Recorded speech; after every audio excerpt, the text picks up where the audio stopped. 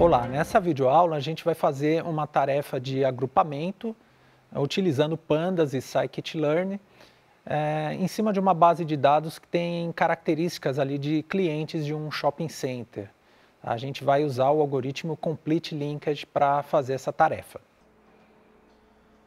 Bom, nessa aula a gente vai fazer então um exercício sobre é, clusterização, né, ou agrupamento, a gente vai pegar uma base de dados vai trabalhar então é, com o, a clusterização hierárquica. Tá? Essas são as bibliotecas que a gente vai usar nesse exercício. Então, pandas, o pyplot. Tá? Vamos usar o NumPy. Tem essa biblioteca SciPy Cluster Hierarchy aqui, que a gente vai utilizar para plotar o dendograma. Tá? Além disso, a gente vai usar aqui principalmente o scikit-learn. Tá? Vamos uh, importar aqui a classe Agglomerative Clustering, que vai fazer então o processo de agrupamento hierárquico. Tá? E também a gente está setando aqui alguns parâmetros para fixar já o tamanho das imagens que a gente vai gerar, um tamanho grande aqui que a gente possa visualizar bem no caderno. Certo? Então a gente vai começar importando os dados. Os dados estão disponíveis aqui nessa URL. Tá? Então vou copiar essa URL e a gente vai fazer a importação dos dados no caderno direto da web.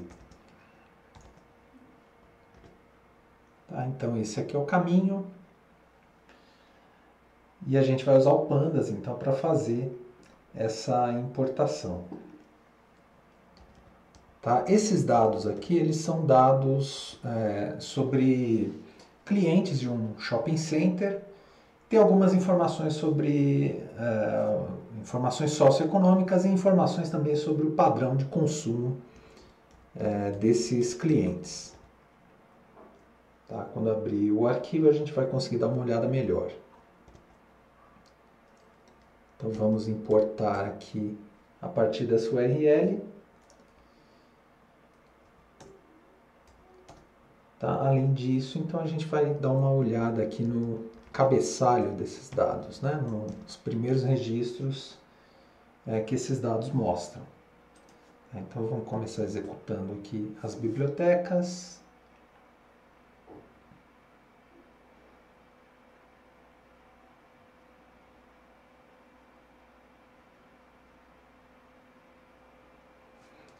Foi, e agora vamos então importar esses dados.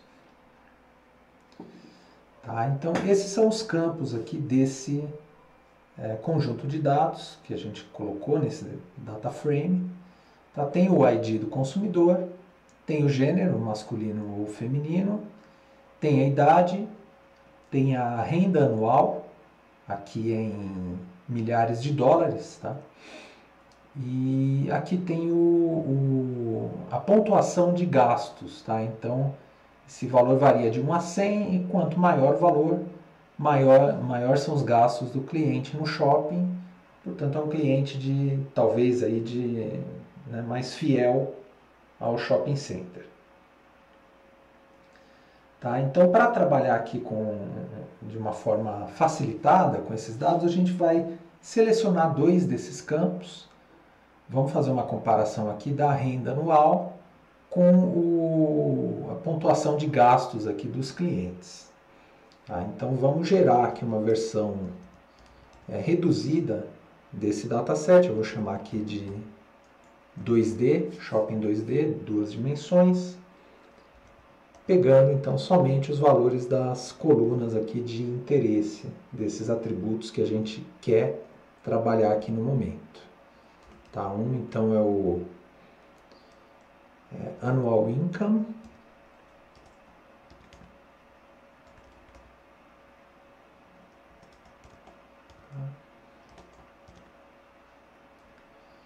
E a outra coluna de interesse aqui que é o uh, spending score, né? O, pontuação de gastos.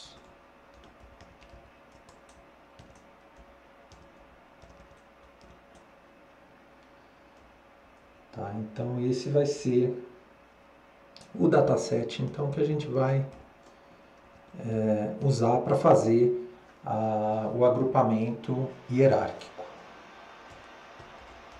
Então, vamos dar uma olhada aqui como é que vai ficar esse dataset reduzido, então, com menos colunas. Tá, então, a primeira coisa é, que a gente precisa fazer quando vai fazer um processo de agrupamento é escolher ali algum número de grupos. Né?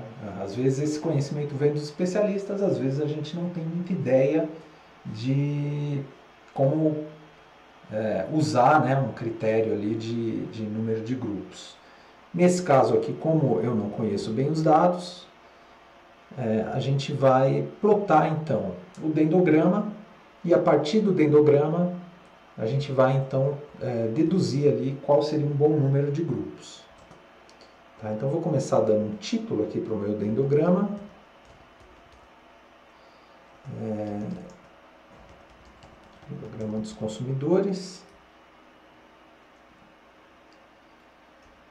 Certo? E aí a gente vai então usar aquele, aquele objeto, né, é SHC, que vai fazer então a geração do dendograma.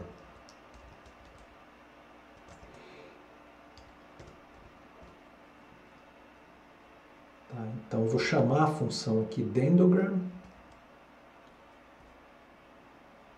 Tá, Para essa função uh, eu vou chamar uma função aqui que é responsável então por gerar é, esses dados aqui para uh, usando o, o, algoritmo complete linkage, tá?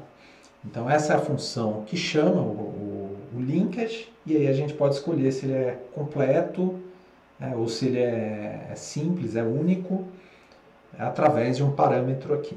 Então a gente passa primeiro é, o, o, a base de dados né, que a gente está trabalhando. E aí a gente chama então o parâmetro method. É, a gente vai usar o complete, né, o, a ligação completa, né, o complete linkage. Só uma pequena correção aqui. Correto aqui é method. Tá? E com isso, então, a gente já consegue visualizar é, o gráfico aqui, o dendograma. Vai resultar. Tá? Ele vai fazer, então, a, né, esse agrupamento de forma hierárquica. Tá? O gráfico aqui ainda ficou pequeno. É, deixa eu reexecutar aqui para ele pegar os parâmetros ali do que eu passei como tamanho da figura. Tá? E aí eu vou executar novamente então, para ver esse gráfico um pouco maior.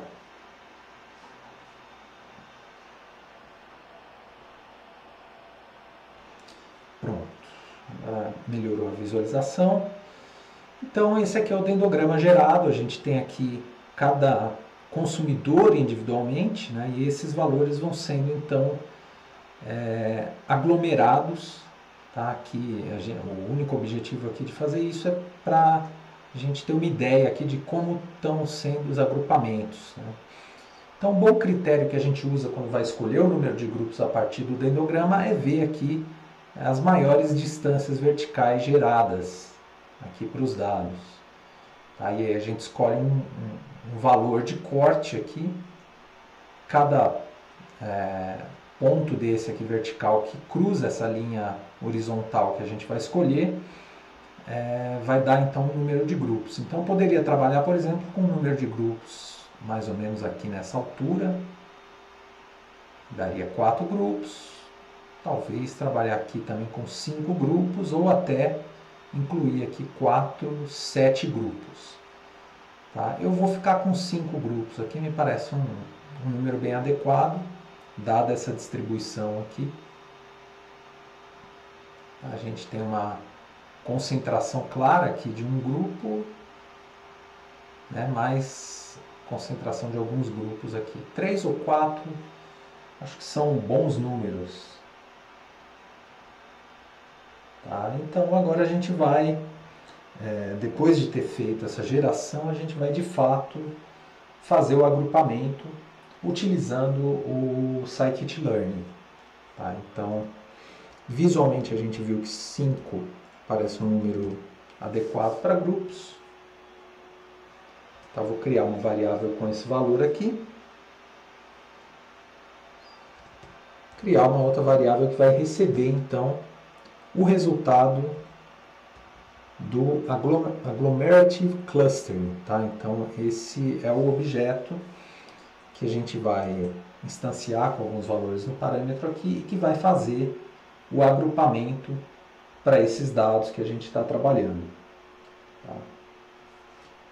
Então eu vou primeiro parametrizar esse objeto e depois eu vou pedir para é, fazer então a, o agrupamento. Tá? Então primeiro a gente passa aqui o número de clusters, tá? através do parâmetro nclusters, que é o ngroups que a gente gerou ali agora. Depois a gente vai escolher o método, a forma de similaridade. Tá? Para isso a gente vai chamar aqui é, o parâmetro affinity. Tá? A gente vai usar aqui a distância euclidiana. Tá? Então, é a distância direta né, entre dois pontos. Por fim, a gente vai escolher o método que a gente vai usar. E aqui a gente vai escolher o complete linkage. Tá? Então, com isso a gente parametriza o objeto, cria uma instância dele. E agora eu vou então chamar o método, ou a função fitPredict, aqui é a função que vai é, realizar aqui o agrupamento. Tá? Aqui para ela eu vou passar o meu conjunto de dados, nesse caso o Shopping 2D, para a gente conseguir visualizar ele aqui no, no, resultado do agrupamento, estamos usando então dois atributos. Tá? Quando a gente executar esse código aqui, ele vai retornar para a gente, né? essa função ela retorna um array aqui contendo é, os grupos em que cada um dos objetos foi sequencialmente aqui classificado. Tá? Então, os grupos, eu escolhi cinco grupos, eles variam aqui de 0 até 4. Né? E cada objeto aqui é, foi agrupado em um desses grupos, isso está descrito aqui. Tá? Então, vamos visualizar essa informação graficamente. Tá? Para fazer essa visualização desses dados aí de uma forma melhor, a gente vai usar um gráfico de dispersão. Tá? Então eu vou usar lá do PyPlot o scatter, né? o gráfico de dispersão. Tá? O que, que a gente vai passar aqui então, para fazer essa visualização? A gente vai passar os dois atributos que a gente escolheu. Então, o annual income sendo passado aqui no eixo X. No eixo Y a gente vai passar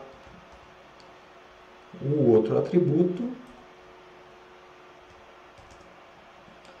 que é o Spending Score. Tá? Então, estamos passando esses dois atributos. Além disso, a gente vai passar aqui é, uma, uma função para colorir esses grupos diferentes aqui. Tá? Para isso a gente vai usar então o, o modelo gerado, né, ali, é, que é o, a variável grupos. Tá? E a gente vai pegar então os labels, né, os rótulos, é, que são os valores ali que cada grupo representa. Então ele vai atribuir cores diferentes para esses valores aqui do, diferentes do array. Tá? Por último, eu vou determinar aqui uma escala de coloração. Tá? Vou usar o valor rainbow aqui. Tá? Para destacar bem as cores entre os grupos. Tá, vamos dar uma melhorada aqui no gráfico, passando aqui um, um rótulo também para os eixos x e y. Então vou traduzir aqui o significado das, de cada uma das colunas. Tá? Então no eixo x está a renda anual, no eixo y a gente tem a pontuação de gastos.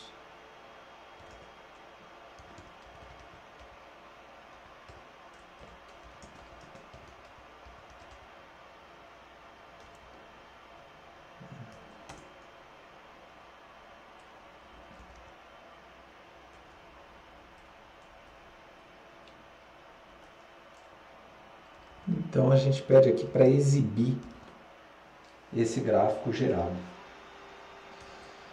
Tá, vamos ver qual é o resultado aqui da execução. Então, aqui embora né, esteja um pouco pequeno, aqui dá para visualizar bem que a separação em cinco grupos foi funcionou bem, parece. Né? Aqui a gente tem dois grupos próximos, né? o vermelho e o azul. A gente poderia até considerar que são quatro grupos, talvez alguns para cá, outros aqui desse azul, desse azul mais claro, mas no geral eu acho que essa classificação foi bem satisfatória. Tá? E aí a gente consegue ver é, como é que é a distribuição então da renda, né, a renda crescendo aqui, e a relação com a pontuação de gastos. Então, se a gente for usar essa informação para o shopping, aqui dá a, a, indicar aqui que a gente tem cinco grupos de consumidores. Né? Tem alguns consumidores que têm uma renda mais baixa e que tem uma pontuação de gasto menor e existe essa relação, né? Os, esses consumidores aqui é, desse grupo não tem um, um, padrão de gasto, por exemplo, muito alto, né? uma pontuação muito alta Aqui a gente já tem um, um, um nessa cor aqui salmão, né, rosa, a gente tem consumidores que têm uma alta pontuação, mas tem uma renda baixa. Tá? Então são grupos bem distintos. Aí. Em roxo aqui a gente tem os consumidores que têm uma alta pontuação de gastos e tem uma renda anual muito alta, né? bem distribuída aqui também. Então parece que usar aqui cinco grupos funciona bem. Tá? Então, para trazer alguma informação a mais aqui para esse gráfico, a gente poderia olhar também qual é o gênero desses consumidores, né? plotar essa informação adicional nesse gráfico. Tá, vamos fazer isso. Ah, então, eu vou gerar um novo gráfico ah, vou aproveitar essas informações que a gente já tem aqui. Vai ser um gráfico muito parecido com esse, só que a gente vai rotular cada um daqueles pontos. Tá? Então, como é que a gente faz isso? A gente, para conseguir fazer isso, a gente precisa é, adicionar um elemento a mais aqui, que é chamado subplots. Tá? O subplots ele vai retornar é, dois valores. Tá? Um se refere ao eixo né, de representação dos dados e o outro à figura. Tá? O subplots ele faz parte do pyplot e a gente chama ele aqui para fazer essa configuração aqui dos dados. Tá? Então agora eu vou continuar plotando o mesmo gráfico, né? então vou manter esse código idêntico, só que agora o, o eixo agora é que vai, ser, que vai receber ali os valores do, do tanto do rótulo do eixo x quanto do, do rótulo do eixo y. Tá? Então esses valores agora pertencem ao eixo que está sendo retornado aqui pelo subplot. Tá? De resto, a informação aqui é a mesma. Tá? E como é que a gente faz para adicionar então é, os labels? Né? A gente separou nesse, nessa base de dados Shopping 2D e não tem informação do gênero. Então a gente vai precisar pegar esses valores lá dos dados originais. Tá? Como os pontos são coincidentes, né, o, o, o valor do, da renda e o valor do, da pontuação de gastos é a mesma, então a gente pode plotar essa informação por cima no gráfico. Tá? Para fazer isso, a gente vai usar um, um laço tá? para iterar então no, dentro dessa característica gênero na base de dados original. Tá? Então eu vou é, receber alguns valores aqui nessas variáveis, tá? usando a função enumerate. Tá? Enumerate ela permite a gente iterar em um certo, uma certa lista, né? um certo conjunto de objetos e retornar aqui o índice e o valor que fazem parte daquele objeto. Tá? Então, no caso aqui, a gente vai usar o shopping é, e o atributo é o genre, né? de gênero. Certo? E aí a gente vai fazer uma verificação aqui né, de qual conteúdo que foi retornado. Então, se esse conteúdo é, for female, né, for feminino, então o que, que a gente vai fazer? A gente vai usar no eixo que está sendo gerado a função annotate, tá? que vai criar uma anotação é, para aquele dado ponto. Tá? Que para diminuir aqui o impacto de visualização, a gente vai colocar só um F quando for feminino. Tá? E aí o que, que a gente vai fazer então? Vai colocar aqui o ponto utilizando os dados originais. Tá? Então a gente vai usar aqui o iLock para pegar o índice daquele objeto que está sendo iterado. Tá? O nosso interesse no iLock é pegar o mesmo valor para plotar. Né? Então a gente vai pegar é, primeiro o, o annual income,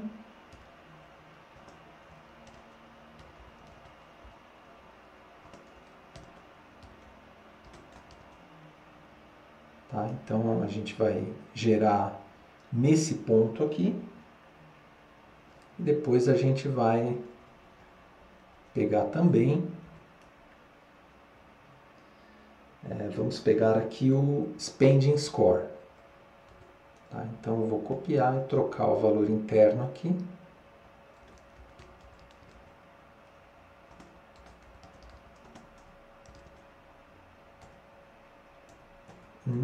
Assim. Tá? Então, com isso, a gente vai plotar essa informação de F quando, nesse ponto, né, quando o, gênero for feminino. E aí o procedimento aqui para o gênero masculino vai ser muito parecido. Tá? Então, se não for feminino, é masculino.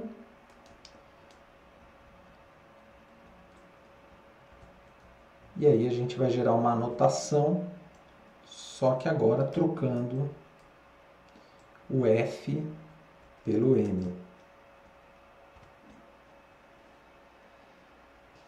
Certo? Então esse é o valor que a gente vai replotar, né? vai recriar um gráfico desse agora, incluindo essa informação, para ver se a gente acha, né? descobre alguma informação adicional. Tá bom? Primeiro, hum, eu posso ver que tem um erro aqui, né?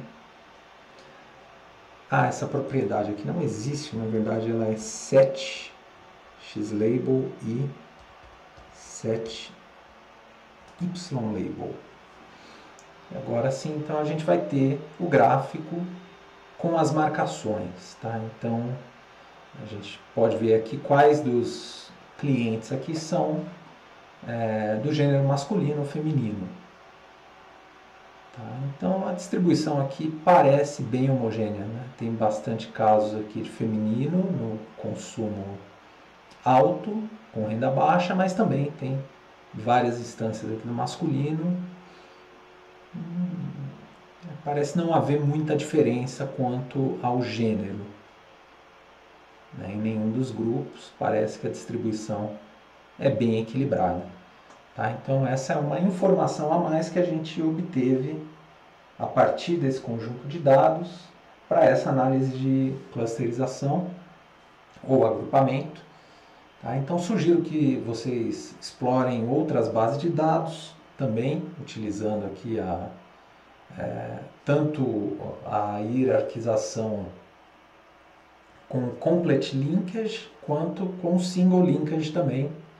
Tá? Então vocês podem testar e testar também outros algoritmos de agrupamento com esses dados ou testar esse algoritmo que a gente utilizou aqui com outros dados. Certo? É isso por hoje. Até mais. Bom, então a gente viu como usar o Complete Linkage para analisar um conjunto de dados e eu sugiro que vocês continuem se aprimorando e tentando, exercitando com outras bases e também com outros algoritmos de agrupamento. Obrigado.